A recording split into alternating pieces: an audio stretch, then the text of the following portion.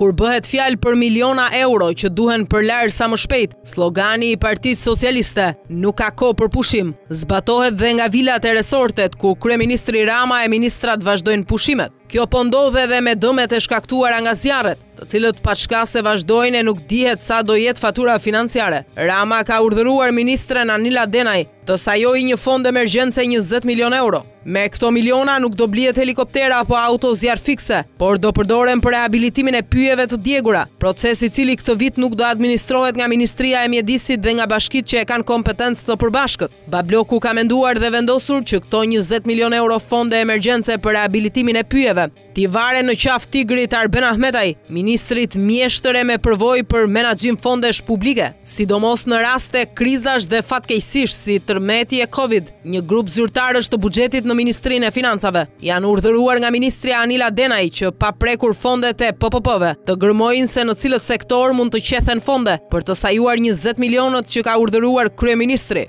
Këto miliona duhen krijuar brenda datës një shtator 2021. me qëllim që në mbledhjen e parë të Qeverisë më tre shtator, të bëjnë gati miratimin e projekt-aktit normativ për financimin e rehabilitimit të pyjeve të djegura. Ky fond do t'i transferohet Ministrisë së Rindërtimit, si shtesë buxheti shërbime të paparashikuara, të cilat ministri Arben Ahmetaj do t'i përdorë me procedura tenderësh pa shpallje e pa garë, por vetëm me negocim, duke i trajtuar si nevoja emergjence. Nuk do shkencë, të kuptohet se përse edhe këto njëzet milionë euro të pyjeve, Babloku do t'ia besojë Ministrisë së Tigrit, që nuk ka asnjë lidhje me pyjet, siç bëri dhe me tridhjetë e pesë milionë euro të vaksinave, për të cilat nuk ka asnjë raport financiar.